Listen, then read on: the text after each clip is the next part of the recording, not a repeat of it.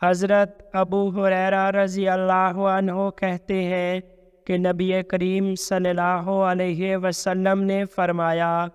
जिसने नमाज़ में एक रकत भी पाली उसने नमाज़ पाली